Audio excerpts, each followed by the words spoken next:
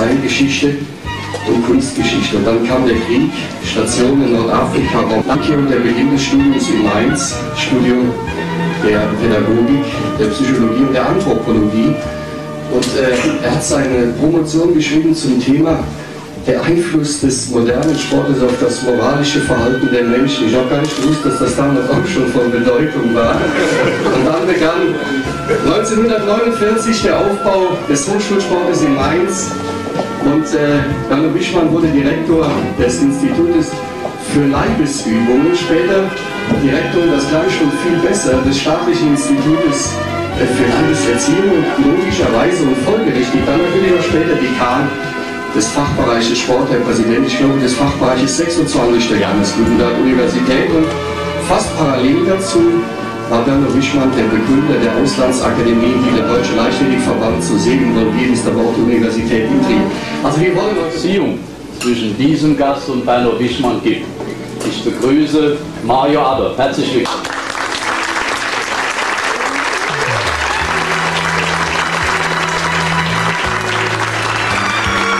Äh, Wischmann aber es ist nicht so, dass er die Schauspielkunst bei Werner Wischmann gelernt hätte.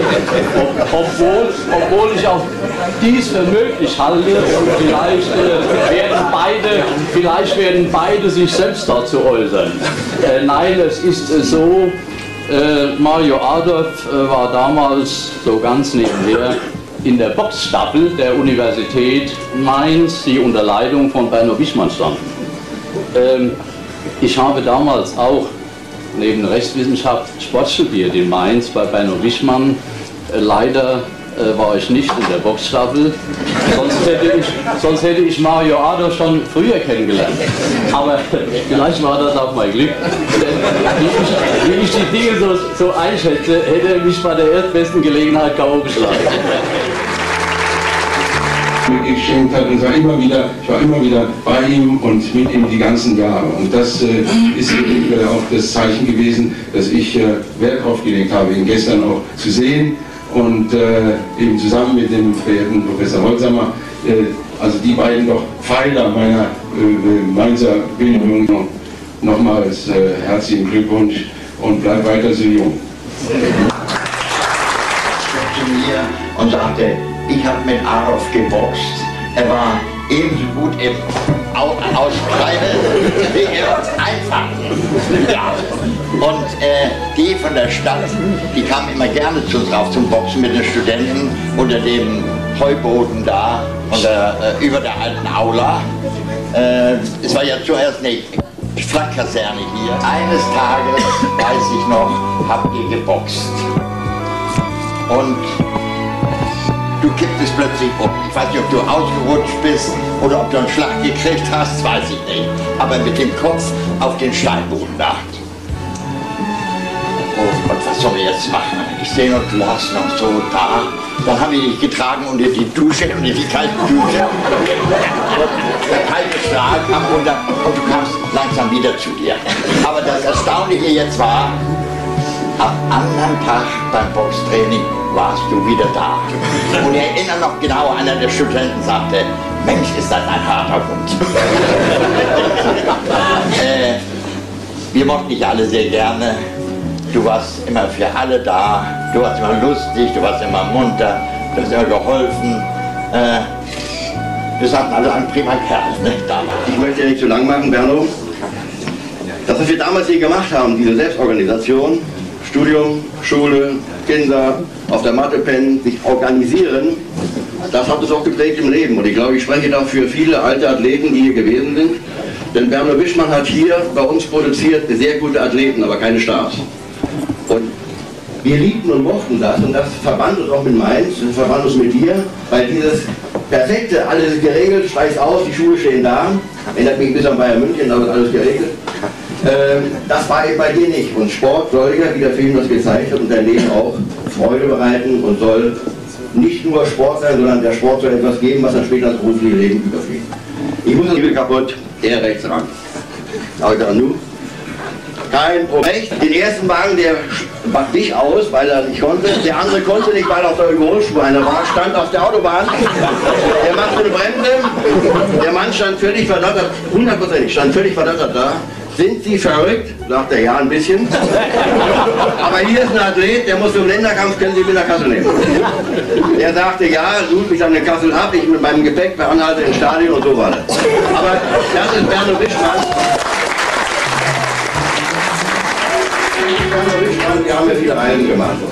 Ich kann nur allen, die hier sitzen, dieser Fangemeinde, den Leuten, die nicht, die jetzt nicht unter uns sind, den Trainern, mir selbst als ERV-Mensch, Du hast mir sehr viel beigebracht, Bernhard. Ich danke dir für ewige Zeiten. Du bist einer derjenigen gewesen, der mein berufliches Leben bestimmt hat.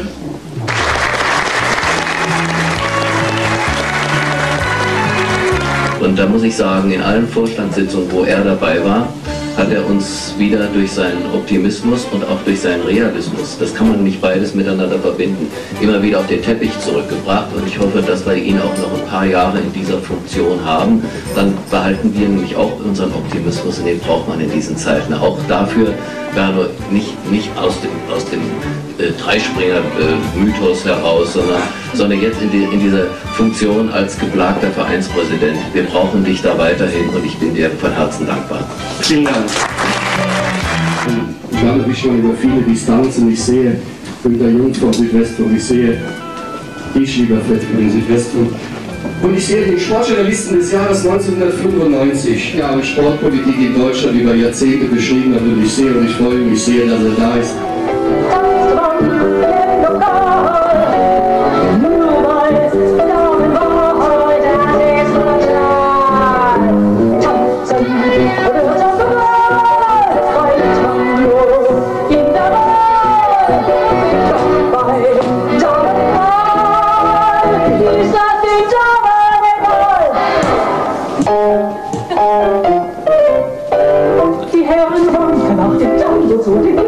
Gewässern. Die Küchen sind ganz weich. Gleich da hat sie wieder das Entsetzen. Der nächste Tango beginnt soll.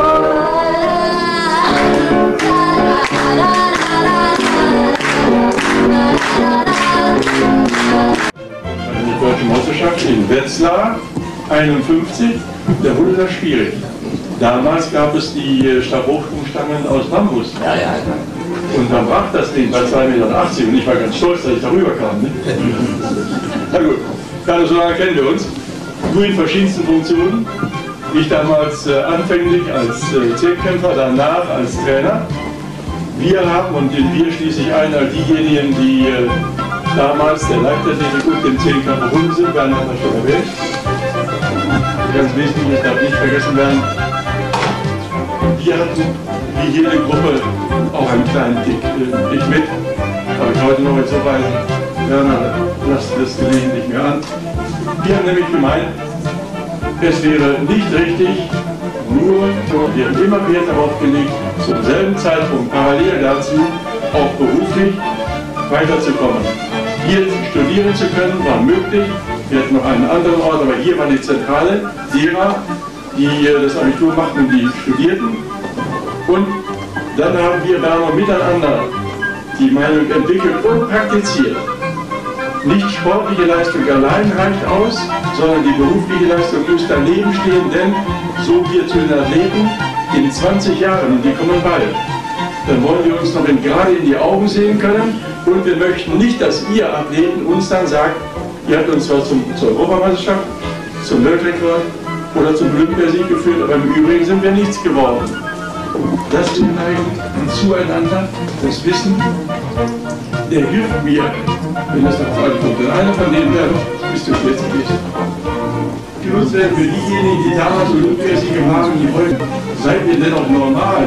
Wenn es dann, ich darf über die Zehnkämpfer sicherlich hinausgehen, hier ist das schon einige Male besonders von Werner, unseren Eigenschaft als Vizepräsident des BV gesagt, komm, wir sind Wann wirst du lesen, der will was sagen? Ich habe das Mikrofon. Meine Damen und Herren, dass wir die Chance bekommen haben, bei Ihnen zu studieren. Sie sind überall in der Welt bekannt. Und manche uns öffnen. Das ist äh, eine riesige Überraschung für unser neuer Trainingsanzug. oder so. Nee, das ist Wir sind zwölf Studenten. Äh, Paraguay, von äh, Uruguay, von Namibia, von ja, aller, aller Welt. So.